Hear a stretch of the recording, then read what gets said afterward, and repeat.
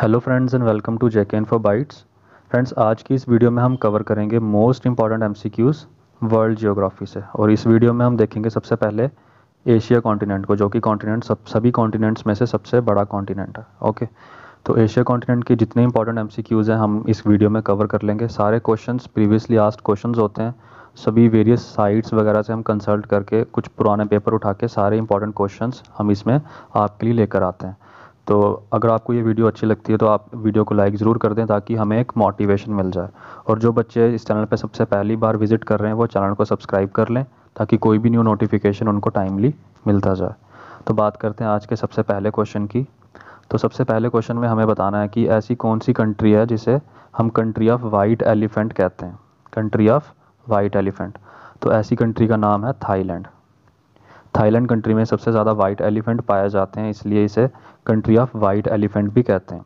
Thailand की बात करें तो इसका पुराना नाम सियाम भी है तो इसे हम लैंड ऑफ़ वाइट एलिफेंट्स कहते हैं। और यहीं पे अगर हमसे क्वेश्चन पूछ लिया जाता है कि which country is known as land of million elephants land of million elephants किस कंट्री को हम कहते हैं तो वो हम कहते हैं Laos L A O S इस कंट्री को हम कहते हैं लैंड ऑफ़ मिलियन एलिफेंट्स और इस कंट्री को हम ये कंट्री है कहाँ पे है? तो this country is in south east Asia south east Asia में ये लाओस कंट्री है और इसी के बारे में हमें एक चीज़ और याद रखनी है कि लाओस कंट्री जो है, ये ओनली लैंड लॉक्ड कंट्री है साउथ ईस्ट एशिया की. ये क्वेश्चन भी हमसे डायरेक्टली पूछा जा सकता है कि which country is the only landlocked country in south east Asia तो हमारा आंसर क्या रहेगा? लाओस ओके सो ये कुछ इंपॉर्टेंट इन्फॉर्मेशन थी कि लैंड ऑफ़ वाइट एलिफेंट तो well Thailand land of million elephant then our answer will be Laos okay so बात करते हैं नेक्स्ट क्वेश्चन की which is the highest plateau in Asia and world Asia की बात करें या वर्ल्ड की बात करें कौन सा सबसे बड़ा प्लेट्यू है तो ऑप्शंस आपके सामने हैं Deccan plateau Tibet plateau Siberian plateau या फिर ईरानियन प्लेट्यू तो सबसे बड़ा जो हमारा प्लेट्यू है एशिया में, वो है आपका तिब्बतन प्लेट्यू ये आप देख सकते हो तिब्बतन प्लेट्यू हमारा सेंट्रल एशिया में है, और ये इंडिया और चाइना के साथ सराउंडेड भी है। Tibetan plateau is in central Asia और सबसे बड़ा हमारा प्लेट्यू है एशिया और वर्ल्ड का। Answer is Tibetan plateau. Now moving towards next question which country is in both Asia and Europe ऐसी दो कंट्रीज़ के नाम आपको बताने हैं ऑप्शंस में से, जो एशिया में भी फॉल करते हैं और यूरोप में भी फॉल करते हैं। यानी कि उनका कुछ पार्ट एशिया एशिया में भी है और यूरोप में भी है। तो ऐसी दो कंट्रीज़ के नाम हैं रशिया एंड टर्की ठीक है, ये आपको याद रखना है कि यही एकमात्र ऐसे दो कंट्रीज़ हैं जो एशिया में भी इनका थोड़ा पार्ट है और यूरोप में भी पार्ट है। तो आप यहाँ पे देख सकते हो कि जो रशिया है that is situated in northern Asia and eastern Europe northern Asia और ईस्टर्न यूरोप और टर्की की बात करें तो Turkey is situated in western Asia and eastern Europe map में देख सकते हो रशिया का थोड़ा सा पार्ट आपका एशिया में भी है और यूरोप में भी और इसी तरह से आपका जो टर्की है, इसका भी कुछ पार्ट यूरोप में भी है और एशिया में भी है। ठीक है तो आपका जो सही आंसर हो जाएगा कि ऐसी कौन सी दो कंट्रीज़ हैं जिसका पार्ट एशिया में भी, यूरोप में भी है तो वो है आपका रशिया एंड टर्की। ओके बात करते हैं नेक्स्ट क्वेश्चन की। Which country of Asia has same national flower as of India ऐसी कौन सी कंट्री है एशिया की जिसका नेशनल फ्लावर लोटस इंडिया की तरह ही है? तो ऐसी कंट्री का नाम है आपका वियतनाम ऑप्शन नंबर सी तो वियतनाम ही ऐसी कंट्री है जिसका जो नेशनल फ्लावर है वो सेम है इंडिया की तरह.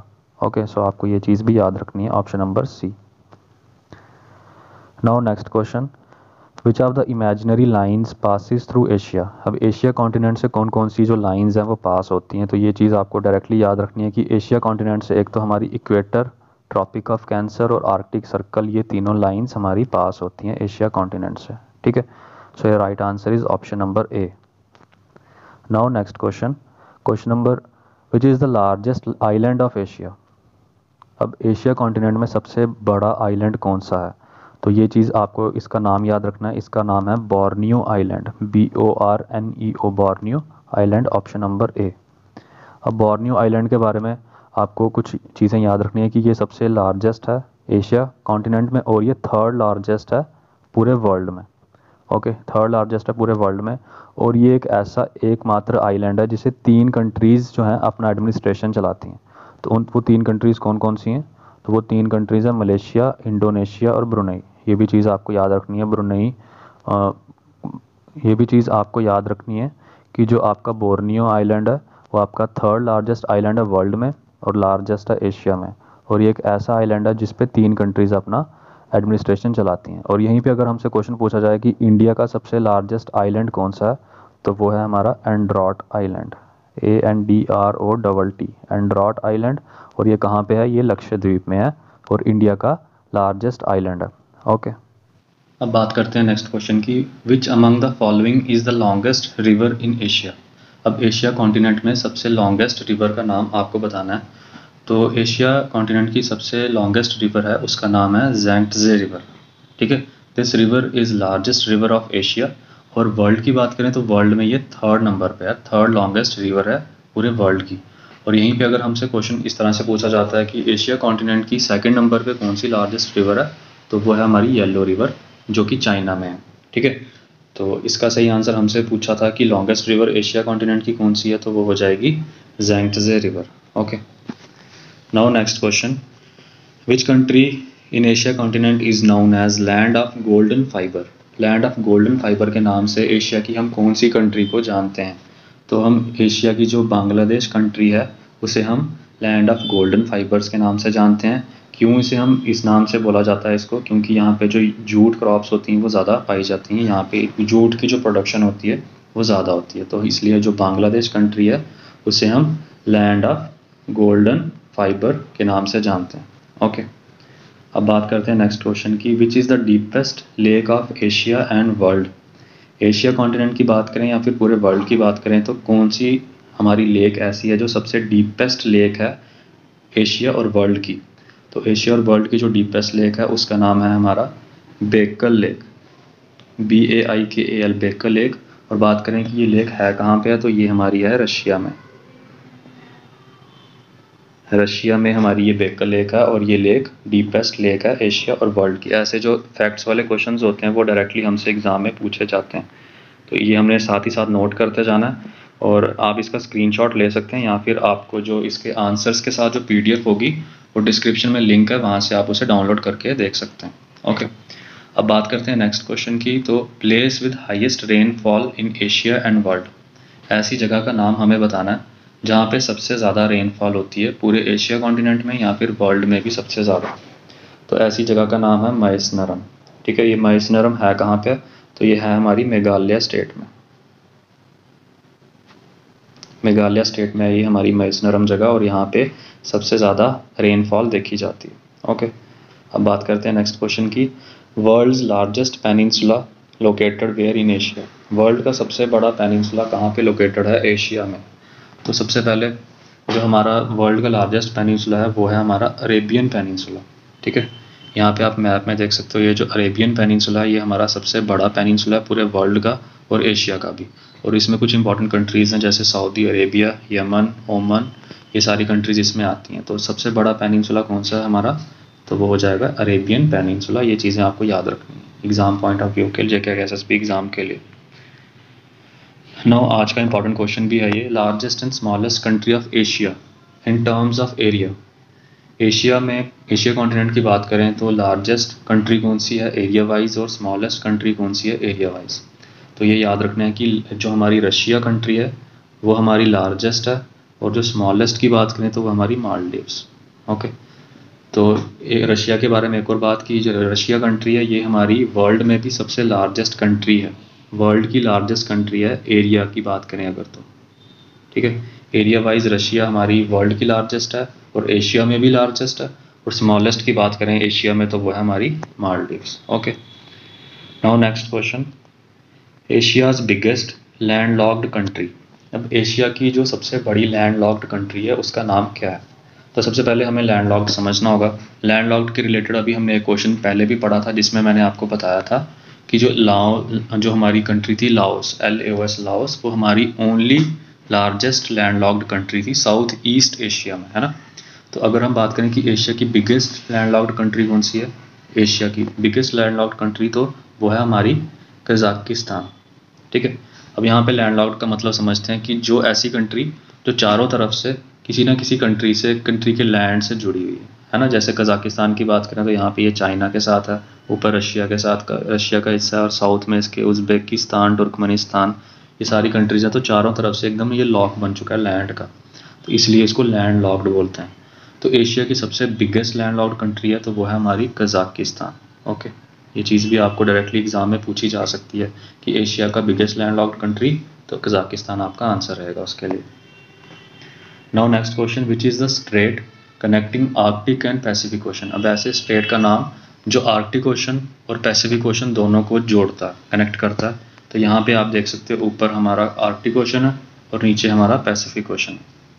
नीचे हमारा पैसिफिक ओशन है और यहाँ पे जो दोनों ओशंस को कनेक्ट करता है, उसका नाम है Bering Strait okay so option A is right Bering Strait ये आपको याद कर लेना okay now next question the cities of Hiroshima and Nagasaki are located on which island of Japanese archipelago जो हिरोशिमा और नागासाकी जो दो सिटीज़ हैं, जहाँ पे हमारे एटम बॉम्ब भी गिरे थे तो वहाँ पे ये जो दोनों सिटीज़ हैं, ये कौन से आइलैंड्स के अलॉन्ग सिचुएटेड हैं? तो ये चीज़ें याद रखनी कि जो हिरोशिमा सिटी है, वो है हमारी होंचू आइलैंड पर, और जो नागासाकी है, वो हमारी कोयशू ये दो आइलैंड्स के नाम आपको याद रखने हैं होंचू एंड कोयशु ठीक है होंचू एंड कोयशु ये दो आपके जो आइलैंड्स हैं, ये सिट ये किस सिटी से रिलेटेड है? हिरोशिमा और नागासाकी तो ये चीज़ आपको नोट कर लेनी है। Okay now which is the biggest lake of Asia अब एशिया कॉन्टिनेंट की सबसे बड़ी लेक कौन सी है? तो वो है हमारी कैस्पियन सी अब सी से ये नहीं है कि ये समुद्र है, इसका नाम है कैस्पियन सी ये लेक है। आप ये इमेज में देख सकते हो कि ये पूरे मैप में कितनी बड़ी है अब आपकी लेक है। ठीक है? कैस्पियन सी हमारी सबसे बड़ी लेक है एशिया की। Option number B is right. No which is the lowest point of Asia continent अब एशिया कॉन्टिनेंट का लोएस्ट पॉइंट कौन सा? कैस्पियन सी की बात की थी हमारी सबसे बड़ी लेक है। अगर लोएस्ट पॉइंट की बात की जाए कि एशिया कॉन्टिनेंट का सबसे लोएस्ट पॉइंट कौन सा है तो वो होगा हमारा Dead Sea option number B right now next question Mogao caves also known as caves of the thousand Buddhas Mogao caves जिसे केव्स ऑफ़ थाउज़ेंड बुद्धाज के नाम से भी जाना जाता है, ये जो मकाओ केव्स है, ये कौन सी कंट्री में लोकेटेड है? तो ये भी आपको याद रखना है कि ये जो मगाओ केव्स हैं, ये हमारी चाइना में है ओके सो ये राइट आंसर इज़ चाइना यहाँ पे आपकी मगाओ केव्स देखी जाती now which plateau of the world is known as the roof of world अब ऐसे कौन सा प्लेट्यू है हमारे वर्ल्ड में, जिसे हम रूफ ऑफ़ वर्ल्ड भी जानते हैं। तो एक प्लेट्यू हमने पहले डिस्कस किया था तिब्बतिन प्लेट्यू जिसे मैंने आपको बताया था कि ये एशिया का सबसे बड़ा प्लेट्यू है ना? और हाईएस्ट प्लेट्यू है वर्ल्ड का, और वो सेंट्रल एशिया में था। और अगर वहीं हमसे क्वेश्चन पूछ लिया जाए कि कौन से प्लेट्यू को हम रूफ ऑफ़ वर्ल्ड कहते हैं तो वो हम कहते हैं पामीर प्लेट्यू को ऑप्शन नंबर बी ठीक है? नो आज का last question which is the largest desert of Asia अब ये क्वेश्चन भी काफ़ी इंपॉर्टेंट है एशिया कॉन्टिनेंट के रिगार्डिंग तो एशिया कॉन्टिनेंट में सबसे लार्जेस्ट डेजर्ट का नाम क्या है? तो वो हमने डायरेक्टली याद रखना है कि ये गोबी डेजर्ट है option number B Gobi desert is largest desert of Asia continent okay so friends ये थे कुछ इंपॉर्टेंट क्वेश्चंस जो हमने एशिया कॉन्टिनेंट के कवर किए हैं, सारे जितने कॉन्टिनेंट्स हैं, सभी के हम एम सी क्यूज़ यहाँ पर कवर कर लेंगे, जिससे आपका जो वर्ल्ड जोग्राफी टॉपिक है, उससे कोई भी क्वेश्चन अगर आएगा एग्ज़ाम में तो आपसे इजीली सॉल्व हो जाएगा। आप बस इसको जितनी इन्फॉर्मेशन है, साथ ही साथ अपने कॉपी पे नोट करते रहिए, या फिर आपको इसका पीडीएफ जो है, वो डिस्क्रिप्शन से मिल जाएगा। फिर हम नेक्स्ट वीडियो में मिलते हैं, कुछ नई वीडियोस के साथ। Okay bye take care